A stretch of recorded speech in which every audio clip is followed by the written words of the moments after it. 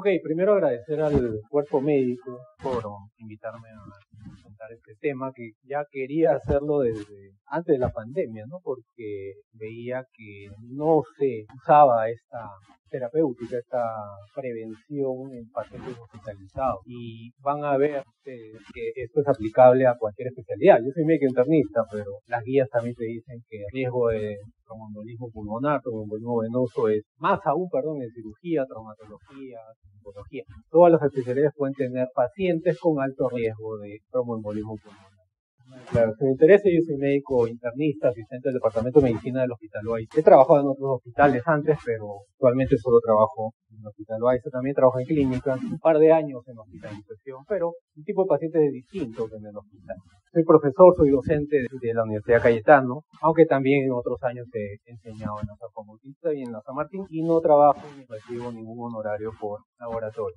Voy a empezar con un caso. Un paciente que vimos en el 2012, un paciente quirúrgico que ingresó a la emergencia por un abdomen agudo quirúrgico. Junio del 2002, 57 años, el único antecedente que tenía era bronquitis a repetición, que mejora con nebulizaciones, muy probablemente asma o EPOC, porque no sabemos desde cuándo tenía ese antecedente, ¿no? Si era desde la niñez, probablemente sea asma, si es reciente, probablemente sea EPOC. Y sometía a una hernioplastia umbilical, una cirugía no muy compleja hace cuatro años, que después produjo una ventración y después tuvo una ventración encarcerada que la llevó a esta eh, complicación, ¿no? Una ventración encarcerada que tuvo un abdomen fue operada, no, hubo complicaciones en la cirugía. Y al día siguiente, en la evolución, solo tuvo leve dolor en medio operatoria. Se levanta inclusive de, la cama, pero ya describe un dolor de espalda, leve. Pero no había disney, no había síntomas respiratorios, no había fiebre. Sin embargo, a la medianoche, a la madrugada siguiente,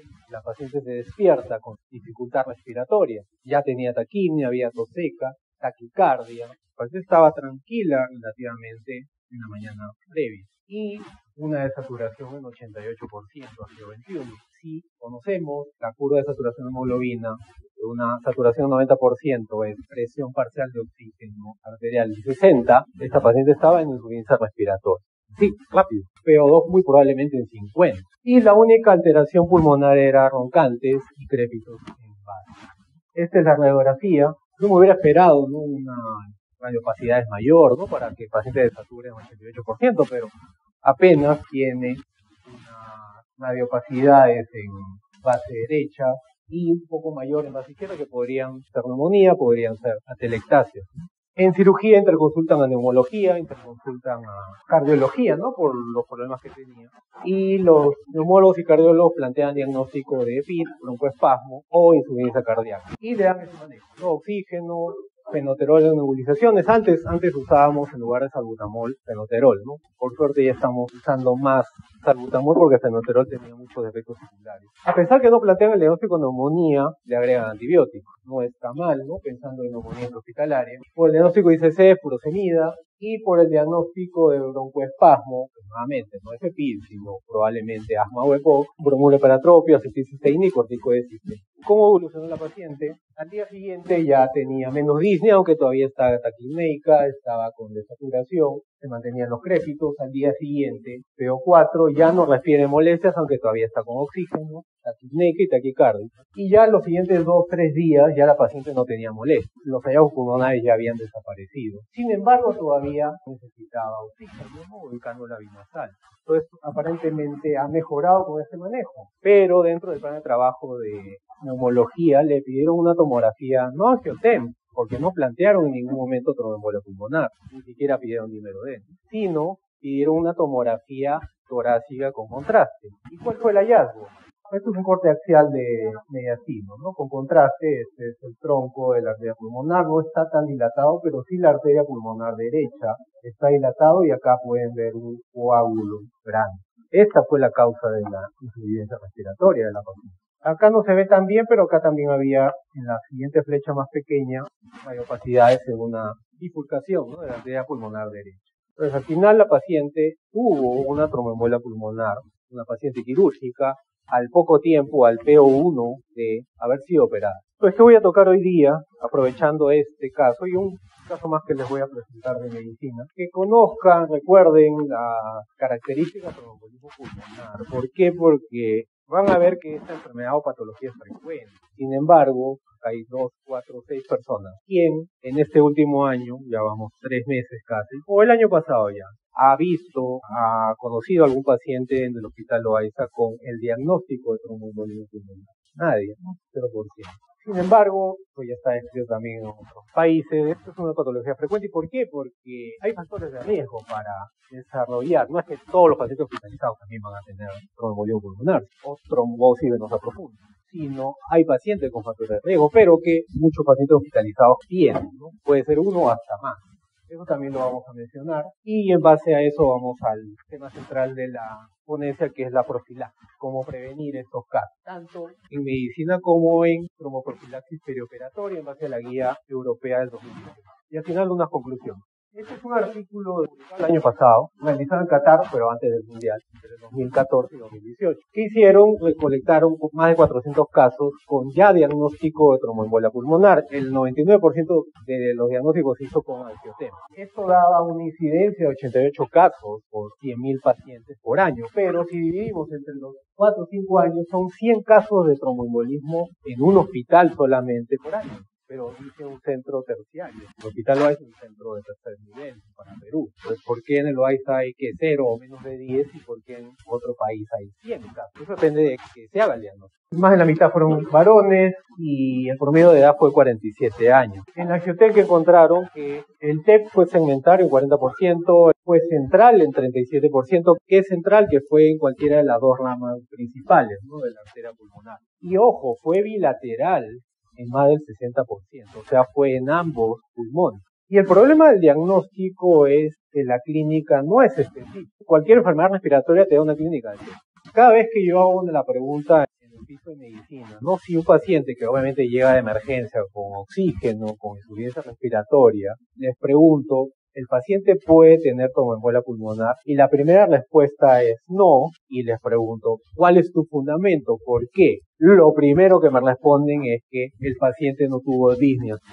Eso es válido si es que yo veo al paciente, por ejemplo, el caso de de cirugía. Estuvo bien respiratoriamente, está en un pabellón de cirugía, no tendría por qué hacer un problema respiratorio, sin embargo lo hace, y grave, ¿no? Hay insuficiencia respiratoria literalmente de la tarde hacia la noche, ¿no? la noche y en ese momento, pero todavía, ¿no? Ni siquiera plantearon el diagnóstico de Plantearon primero insuficiencia cardíaca, neumonía, nadie le indicó ni siquiera en noxaparina profiláctica. El diagnóstico fue hecho incidentalmente porque alguien le pidió una tomografía, teniendo un paciente que me hizo disnea súbita. Peor si un paciente lo veo que en su casa está con disnea un día, no viene al hospital porque lo aguanta, llega al hospital después de dos días, ya no se piensa.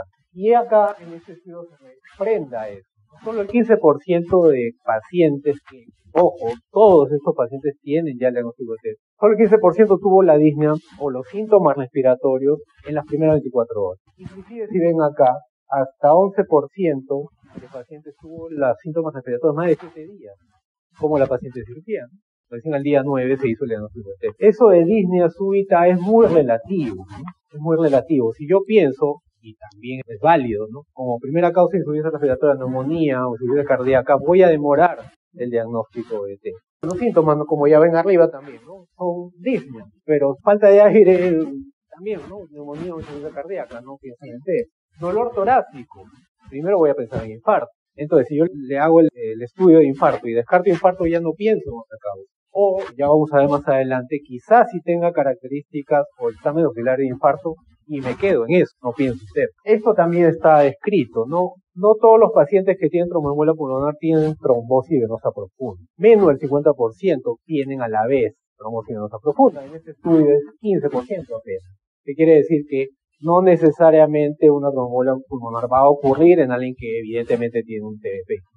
Y lo otro, ¿no? Miren la saturación promedio, es 95% no es insuficiencia respiratoria lo más común como se presenta un TEP. Ojo, sí ha habido pacientes con 60%. Probablemente esos pacientes fallecieron. No sabemos cuánto tiempo tuvieron de enfermedad, no sabemos si recibieron tratamiento. Pero también hay pacientes con saturación del 100% que tuvieron tromboembolia pulmonar. Tampoco es que porque no está en insuficiencia respiratoria no debo pensar en trombosis pulmonar. Y ya, lo que le gusta siempre los exámenes auxiliares. La placa de tórax, el 40% de los pacientes con tromboembolia pulmonar tienen placa normal. Y es lógico, porque el problema no es parenquimal, sino es vascular.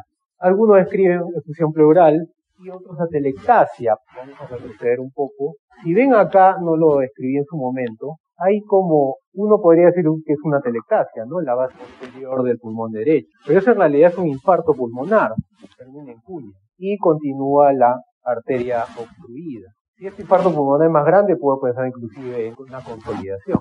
Entonces, en realidad estas atelectasias muy probablemente sean infartos pulmonares. Y en laboratorio, obviamente si el paciente tiene disnea y quizá dolor torácico, le pide una troponina. Y miren, la troponina puede estar un poco elevada, ¿no? En 24, según estos valores, hasta 15, el valor máximo, pero puede llegar, miren, hasta 100. Y yo pensar en infarto. Pero en realidad lo que el paciente está teniendo es un infarto de ventrículo derecho, que también es una complicación de la tromboembolia pulmonar. El ProBNP, todo el mundo piensa en un cine cuando es insuficiencia cardíaca izquierda. Es cierto, porque es la causa más frecuente de insuficiencia cardíaca. Acá el valor de corte es 380, máximo y todos los pacientes tuvieron más de 1000 de ProBNP. Entonces, si yo planteo insuficiencia cardíaca y le pido un ProBNP y sale alto, voy a pensar en falla cardíaca izquierda y más bien le voy a dar furosemida. Pero no, pues. Esta placa no es de congestión pulmonar, solo la radiografía, menos la tomografía. Entonces, este ProBNP elevado es cierto, es por falla cardíaca, falla ventricular, pero falla ventricular del ventrículo derecho, no del ventrículo izquierdo el manejo es distinto. Yo tengo que, para mejorar la función de ese ventrículo derecho, eliminar la causa, que es la obstrucción de la arteria pulmonar. Todos, todos, y eso creo que sí tienen ese conocimiento, alumnos, estudiantes, residentes. 99% de médicos saben que el dímero D tiene valor predictivo negativo y ayuda a descartar la enfermedad si el valor es menos de 0.5.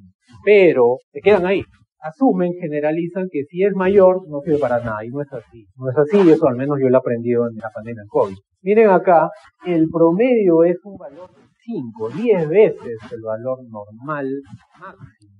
Puede llegar inclusive a 10 esta serie y el mínimo valor fue 2.7. Eso es muy elevado. El dímero D permite descartar tromboembolismo pulmonar, pero en alguien que tiene bajo riesgo, no en alguien que tiene alto riesgo. Si alguien tiene alto riesgo, tengo que ir de frente a ANSETEN, eso es lo que dicen las guías. Pero me puede ayudar, lamentablemente esto todavía no está en las guías, el valor del dímero D. Si yo veo a un paciente con sospecha de TEP y le encuentro un número de 3, tengo que pensar como diferencial al menos una tromboembolia pulmonar. porque esta enfermedad mata? Un TDP quizá no te mata, pero es más fácil de reconocer. Un edema doloroso de un miembro inferior en alguien posoperado en medicina, hasta sobre anticoagula, ¿no? Porque vemos casos en medicina que claramente son celulitis, sin embargo, como tiene el edema y duele, ah, vamos a anticoagular. Ya, no está mal, al menos por profilaxis funcionaría, ¿no? Ya cuando hace la ecodoppler se descarta. Pero esos pacientes tienen dímero debajo, los que no tienen TDP. El dímero debe tomarse, tomarse en cuenta, sobre todo si tiene valores elevados. Nuevamente, no es algo específico. Tengo que ver el contexto del paciente. Y eso es lo que les decía de los factores de riesgo. Lamentablemente, todavía no se considera la obesidad en las guías de tromboembolismo pulmonar, pero debería ya, en mi opinión, eso considerar. En muchas series de, que yo leo este tema, que es de que era R1, ya más de 15 años, se describe que los pacientes son obesos, la mayoría. Acá, como ven, los porcentajes, el mayor porcentaje es IMC 930. Y esto no solamente tiene que ver con un tema de éstasis venosa, cuando el paciente está sentado o acostado, sino por el estado inflamatorio que es la enfermedad de la obesidad. Y los ya conocidos, ¿no? Cuando pregunto a factores de siempre dicen que el paciente está en cama.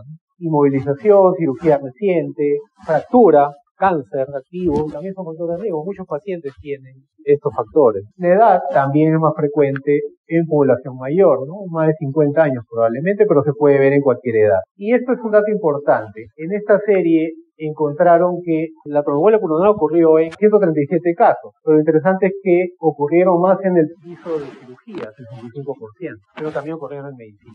Pero el problema fue este, que de estos pacientes no habían recibido anticoagulación profiláctica en un 40% y desarrollaron una tromboembolia pulmonar, estando dentro de un hospital. Esto ya son estadísticas de epidemiología, más de 100 casos por 100.000 personas por año tienen TBP, perdón, 80 casos casi por 100.000 personas tienen tromboembolia pulmonar por año. En Europa es causa de 10 muertes en mujeres por, por cada mil. Y los que tienen más riesgo de tromboembolismo venoso postoperatorio son los que tienen cirugía de cadera, reemplazo de rodilla, pero también neurocirugía y también procedimientos vasculares.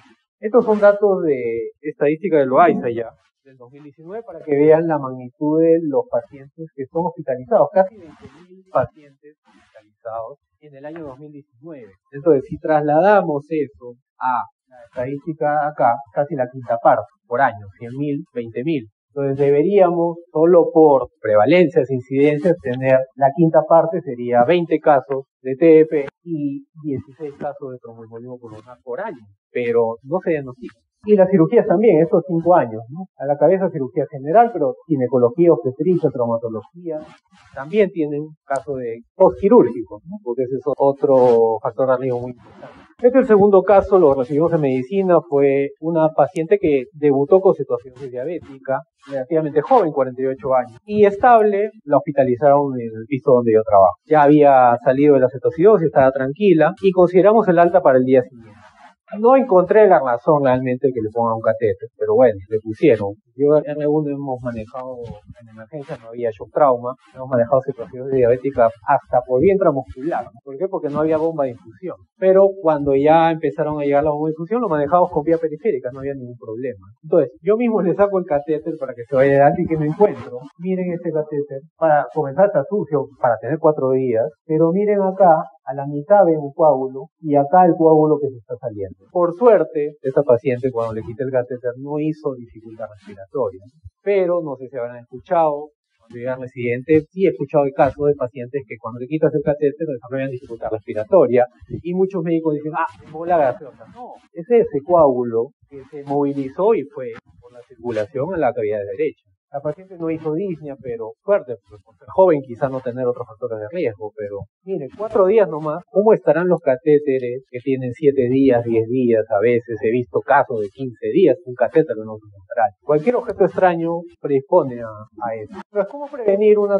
trombosis venosa o un TEP que te puede llevar a la muerte? Primero reconocer los factores de riesgo, ¿no? Acá lo vamos a enumerar. Las enfermedades médicas agudas, ¿por qué generan riesgo de trombosis venosa? Por el estado inflamatorio. Generalmente la mayoría son infecciones, los casos que hospitalizan. Procedimientos quirúrgicos, ¿por cuál es el factor de riesgo? Es la éstasis venosa. Solo estar anestesiado inmóvil 30, 45 minutos, dependiendo de la cirugía más tiempo, es un factor de riesgo. Las cirugías traumatológicas demoran más, por eso el factor de riesgo más evidente en las revisiones bibliográficas. La obesidad también, por lo que ya les dije, el reposo en cama, horas de viaje, que quizá acá eso no lo vemos mucho, ¿no? En otros países sí, por las distancias que se en avión. ¿no? Cirugía ortopédica, fracturas, sin operarte, pero el hecho de estar fracturado estás inmóvil. ¿no? El embarazo también, ojo, el embarazo es un estado procoagulante. Hemos tenido varios casos que son derivados de, de obstetricia o en el puerperio o durante la gestación que hacen TDP. Eh, neoplasias, cáncer, cada vez más frecuente, la incidencia de cáncer de todo tipo en el mundo en general, y terapia con estrógenos, pero generalmente posmenopáusicas, no tanto, no tanto en anticoncepción oral.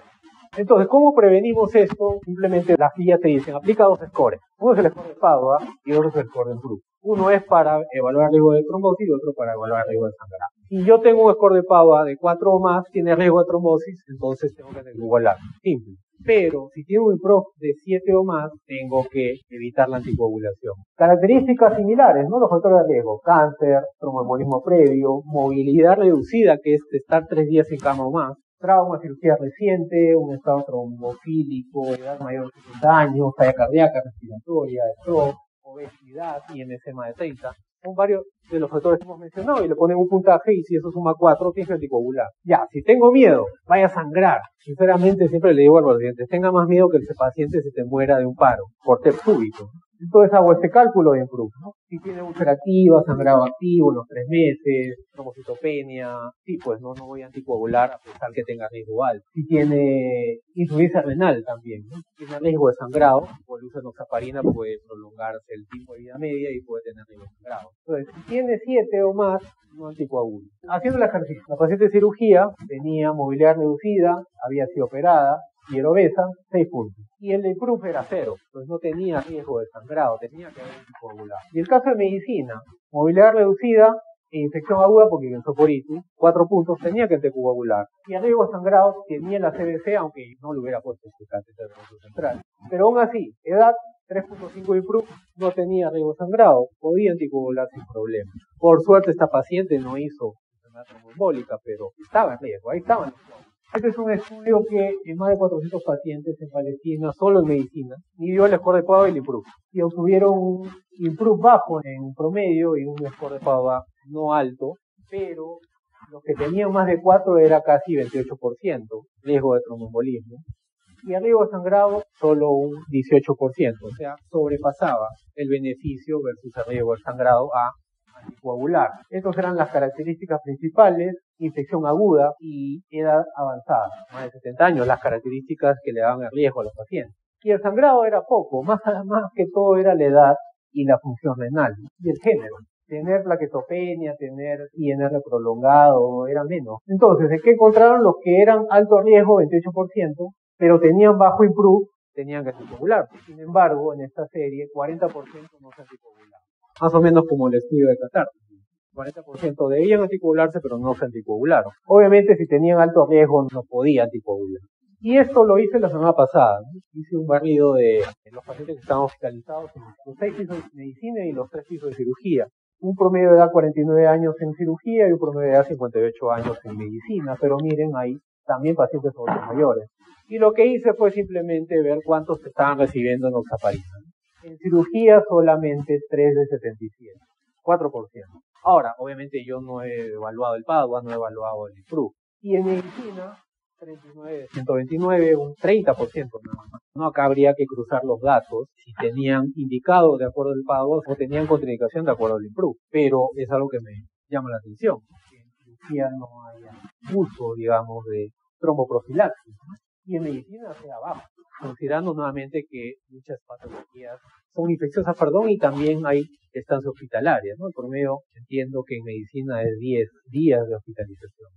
Ya para terminar, esto las guías europeas de tromboprofilaxis. En gestantes y puérperas no hay mucha discusión. Tiene que anticoagularse con enoxa 40 cada 24, sobre todo si tienen patología infecciosa en una cirugía no obstétrica. Y en cesárea, salvo que sea una cesárea lectiva, que ahora son muchas, de bajo riesgo no se anticoagula, pero en todas las demás sí debe anticoagularse. Igual en OXA 40 cada 24 e inclusive entre 7 días o a veces hasta 6 semanas en pacientes que tienen alto riesgo. En obesos, sea cirugía no bariátrica, la dosis es mayor porque no se absorbe adecuadamente la nostafarina.